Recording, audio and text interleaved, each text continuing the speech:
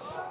Finisce in poesia nella terra di Giacomo Leopardi per il Pineto e domenica sarà derby playoff al Dei Marsi contro l'Avezzano di Giampaolo. Al Tubaldi di Recanati la squadra dell'ex Amaolo si impone 5-3 sulla Recanatese e blinda il quarto posto. Alessandrini sceglie il 4-3-1-2 con Olivieri in cabina di regia dietro le due punte Pera e Falomi. Leggero turnover per Amaolo nel 4-3-3, tornano Mazzocchetti tra i pali, Esposito a sinistra e con Tomassini non al top lasciato precauzionalmente a riposo riposo, in avanti il tridente composto da Di Rocco, Gragnoli e Farias. Appena tre giri di lancette il risultato si sblocca. Sugli sviluppi di una rimessa laterale, Pera, ben appostato sul secondo palo, approfitta del caos in area e insacca di testa per l'1-0 in favore dei padroni di casa.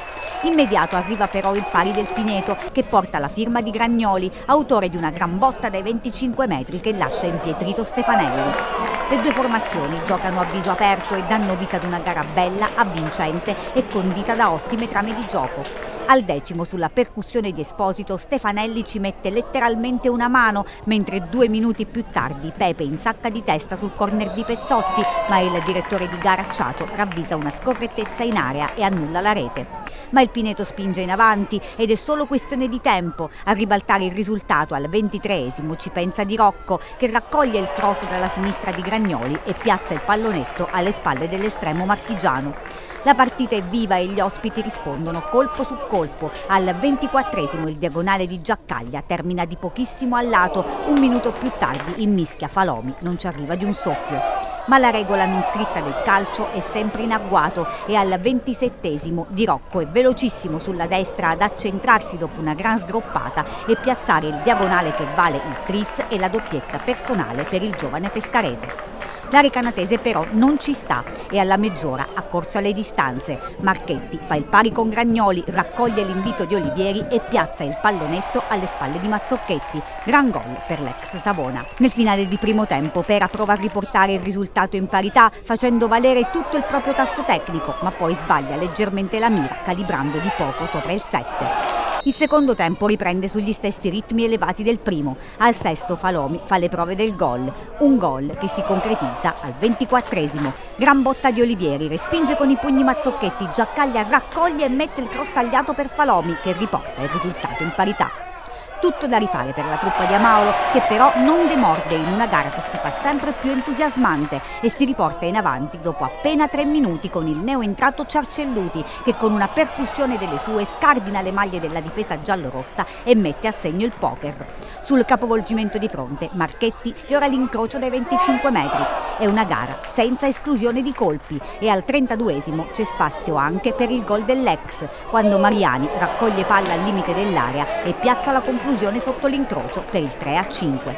Nel finale c'è ancora tempo per il palo di Ciarcelluti che potrebbe valere la sesta rete e lo spunto di Senigagliesi che termina di pochissimo al lato. Dopo tre minuti di recupero, festa e applausi per tutti. La Recanatese, nonostante la sconfitta, festeggia la salvezza davanti al pubblico di casa. Il Pineto, autore di un'ottima prestazione, lancia un messaggio all'Avezzano. Ora l'appuntamento più importante domenica prossima al Dei Marsi per un finale di stagione da protagonisti.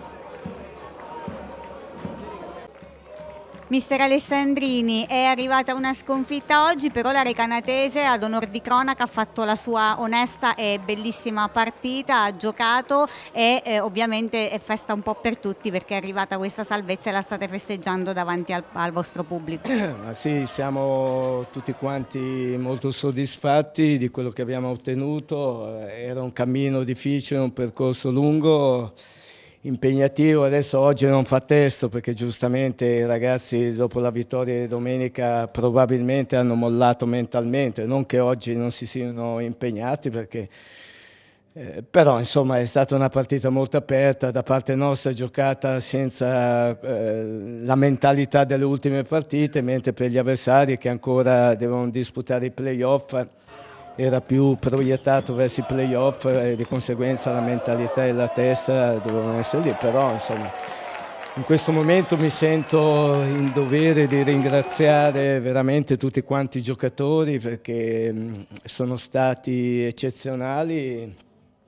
Ottenere questo risultato è già stato detto da tantissime persone, non era facile perché Eh, non dimentichiamo che a dicembre eravamo o penultimi o terzultimi, poi penultimi con 10-12 punti, perciò insomma abbiamo fatto un cammino molto molto importante in un campionato difficile che anche l'ultima giornata ha fatto vedere insomma che mm, sorpassi contro sorpassi. Sorpassi contro sorpassi le ultime che, che magari hanno ottenuto dei risultati importanti perciò non era facile come è avvenuto e di questo ne siamo soddisfatti. Vittoria dell'ex per mister Daniele Amaolo, una partita molto bella, blindato il quarto posto, domenica prossima sarà playoff ad Avezzano. Sì, ci tenevo in modo particolare a chiudere nel modo migliore e al di là quarto, quinto posto i playoff già l'avevamo assicurati che è una giornata d'anticipo e volevamo chiudere in bellezza e contro un'ottima squadra che il giorno di torno ha fatto cose stupende, quindi un organico importante. E però anche noi stiamo in forma, in condizione e abbiamo fatto un'ottima gara, quindi ottime trame di gioco e abbiamo chiuso come volevo, con una vittoria e con una prestazione fatta di qualità anche di gioco e con gol belli anche belle diciamo, eh, finalità. Tra l'altro il Pineto è riuscito a portare a segno diversi giocatori, Cercelluti, Mariani, Di Rocco, insomma sono tutte armi nell'arco di, eh, all'arco di Amaulo per la partita di domenica prossima. Tra l'altro non c'era Tomassini oggi, ha qualche problema?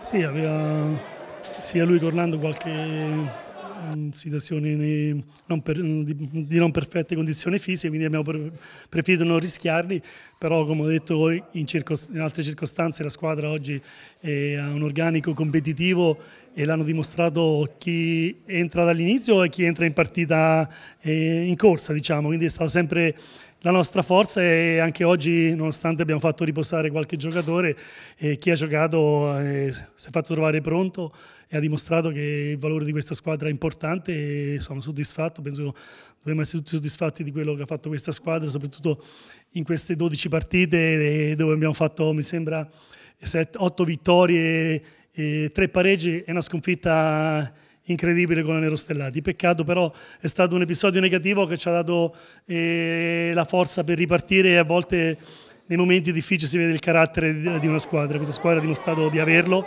con un, finale, un ottimo finale di campionato e quindi siamo tutti soddisfatti di quello che abbiamo fatto.